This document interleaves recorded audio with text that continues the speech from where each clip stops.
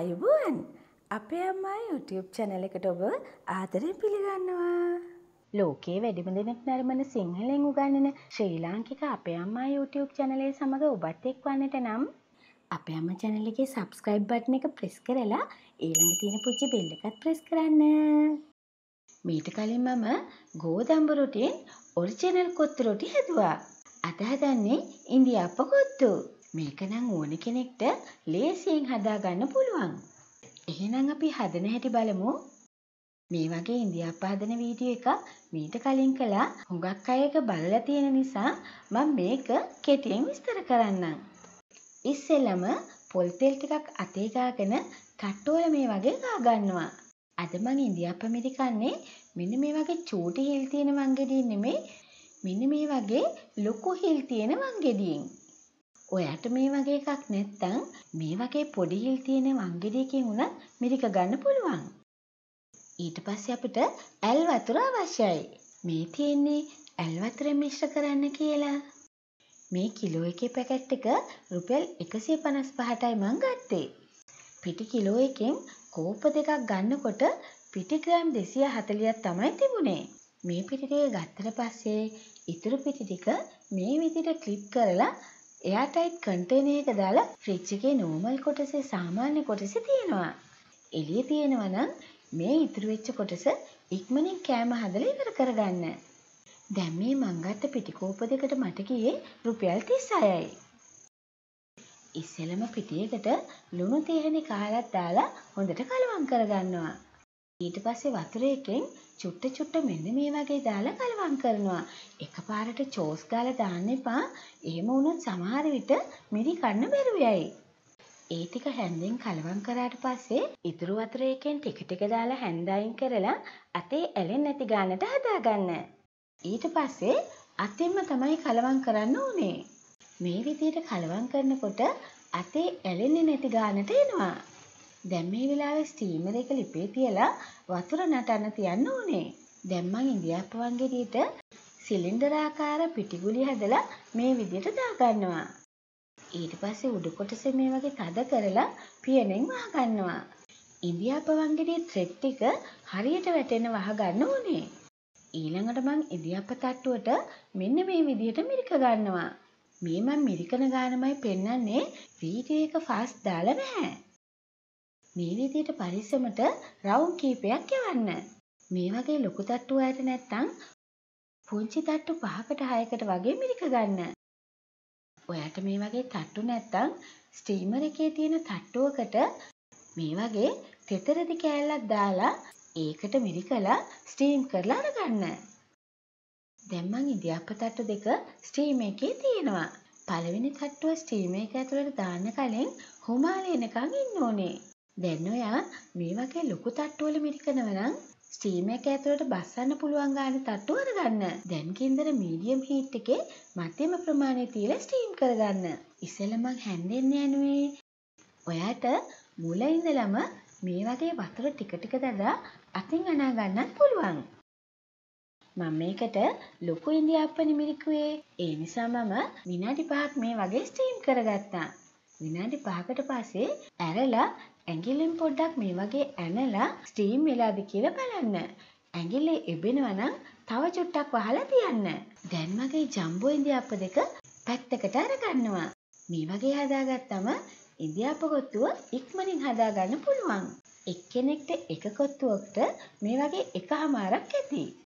තවත් පිටි කෝප දෙකකින් මේ වගේ ලොකු ඉන්දියාප්ප දෙකක් මං හදාගත්තා. දැන් අපිට අවශ්‍යයි ලීක්ස්, චිකන් කරි කුඩු,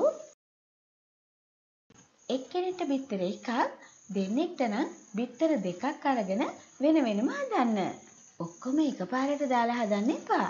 කොත්තු හදනකොට මේක තමයි ක්‍රමය. ඊළඟට අපිට ලූණු, කැරට්, ගෝව තියෙනවා නම් ගෝවක් දාගන්න. අද මම පාවිච්චි කරන්නේ ඔස්ට්‍රේලියන් බටර් ඔයිල්. කේක් බඩු කඩවල්, ග්‍රොසරි කඩවල් වලත් ගන්න තියෙනවා. බටර් වලට වඩා ගණන් අඩුයි. ඔයාට මේව නැත්තම් මාගරින් හරි කැමති එළවලු තෙල් වර්ගයක් පාවිච්චි කරන්න. ඊළඟට අවශ්‍යයි කරපිංචා, සුදු ලූණු, ගම්මිරිස්. අද මං කොත්තු හදන්නේ මෙන්න මේ මොක් එකේ. ඔයාට මේ වගේ තැටියක් තියෙනවා නම් ඒ වගේ එකක හදාගන්න. දැන් මම බටර් ඔයිල් මේස ඇඳේ දෙකක් දාලා සුදුලුණු බික් තුනක් විතර ප්‍රෙස් කරලා බට එකට දාගන්නවා. ඔයාට මේක චූටි වංගෙඩිය තලා ගන්නත් පුළුවන්. එහෙම නැත්නම් බෝඩ් එක උඩ තියලා වංගෙඩිය තියෙන පුංචි මූල් ගහෙන් තලා ගන්නත් පුළුවන්. දැන් මේකට චූටියට කපාගත්තු කරපිංච ටික එකතු කරනවා. මම මේකට චිකන් කරි පවුඩර් දාන නිසා කරදමුගු කරාබුනට දෙන්නේ නැහැ. ඊළඟට කැරට් එක එකතු කරලා තප්පර කීපයක් මේ වගේ උයා ගන්නවා. ඊළඟට ඒකටම ලීක්ස් ටික එකතු කරනවා. ඔයා ළඟ ගෝව තියෙනවා නම් ලීක්ස් එකතු කරන්න කලින් ගෝව ටික එකතු කරන්න. සමහර අය කැමති කොත්තු රොටිය හොඳටම මෙන්න මේ වගේ කොටලා දෙනවට. දැන් ඊළඟට මැද පොඩ්ඩක් ඉඩ අරගෙන බිත්තරේ කඩලා එකට දාගන්නවා. ඊළඟට බිත්තරේට ගම්මිරිස් කුඩු චුට්ටක්, ලුණු කුඩු චුට්ටක් මේ විදිහට දාගන්නවා. දැන් ආයෙත් කලවම් කරනවා. දැන් චිකන් කරිකුඩු තියෙන කාලක් හෝ භාගයක් ඒකට එකතු කරගන්නවා. කුළුබඩු රසයට කැමති නම් තේ ඇඳි භාගයක් දාගන්න. චිකන් කරිකුඩු ටික දාලා තප්පර කීපයක් මේ වගේ හැඳි දෙකෙන් කොටලා ඉඳි අප ටික එකතු කරගන්න. දැන් ආයෙත් හැඳි දෙකෙන් මේ වගේ කොත්තුව කොටා ගන්නවා. සමහරු කැමති කොත්තු රොටිය හදනකොට මේ වගේ තාලේ දානවා නම් එහෙම කැමති නම් ඔයා තාලේ දාලා හදාගන්න. දැන් මං චිකන් කරි ටිකක් ඒ වගේම චිකන් කෑලි ටිකක් දාගන්නවා. ඊට පස්සේ මේ විදිහට තාලේ දානවා. සමහරු කැමති ඉන්දියාප ටික හොඳටම චූටි වෙන්න කොටලා කන්න. එහෙමනම් වැඩිපුර ටිකක් තාලේ දාලා මේ විදිහට හදාගන්න.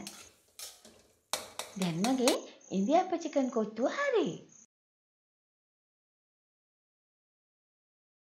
දැන් මං තව එකක් හදනවා. ඒක හදනකොට වැඩි තාලේ දාන්නේ නැහැ. අපේ ගෙදර එක්කෙනෙක් කැමති ඉන්දියාප්ප ටික මෙන්න මේ වගේ දිගට ඉරලා හදා ගන්නවට. ඒ කවුද දන්නවද? ඒ මම තමයි. මම කැමති මේ චිකන් කොත්තුව හොඳටම චූටි වෙන්නේ නැතුව පොඩ්ඩක් රැල් රැල් වගේ එනවට. ඒ නිසා මම මේ කොත්තුවට වැඩි තාලේ දාන්නේ නැහැ. චුට්ටක් තාලේ දාලා කලවම් කරලා අරගන්නවා. ඊළඟට කලින් වගේම චිකන් කරි චිකන් දාලා මේ විදිහට කලවම් කරලා අරගන්නවා. දැන් නම් මට ඉන්දියාප්ප කොත්තු බඩගිනේ. මේ පිඟානට දාගත්තු සේරම මට තනියම කන්න බෑ. මම කන්නේ මේකෙන් භාගයයි. මේ අපේ අම්මා රස බලන වෙලාවයි.